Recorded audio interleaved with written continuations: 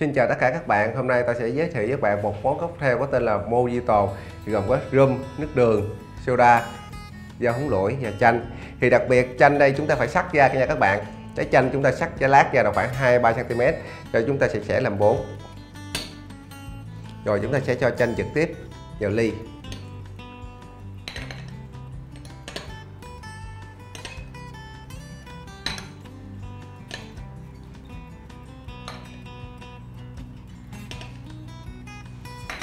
Rồi, sau đó chúng ta sẽ dùng cây mô đồ chúng ta nghiền nát chanh để lấy cái vị vỏ chanh. Thì đầu tiên, chúng ta phải để lòng bàn tay vào ngay cây mô đồ các bạn ha, cây nghiền. Còn ở dưới này, chúng ta cũng để chính giữa. Chúng ta chỉ nghiền nhẹ nhàng các bạn ha. Rồi, chúng ta nghiền đi, lấy cái vị đắng của vỏ chanh. Sau khi nghiền xong, thì tiếp tục, mình sẽ cho rượu rơm vào nha các bạn. Một ao.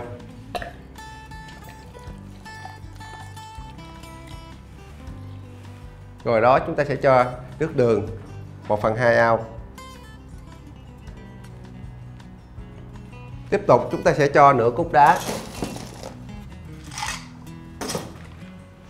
Rồi, chúng ta sẽ cho dao húng lũi vào bên trong.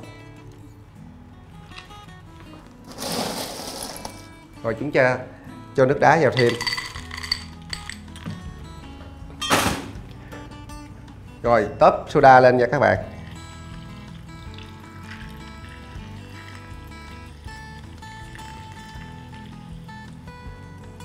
Rồi, mình sẽ trang trí một lát chanh. Kèm theo hai cái ống hút.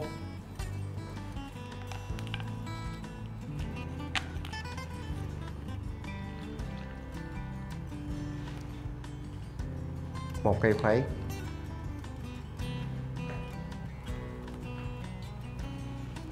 Bài học tới đây kết thúc. Xin hẹn gặp lại các bạn vào bài hôm sau.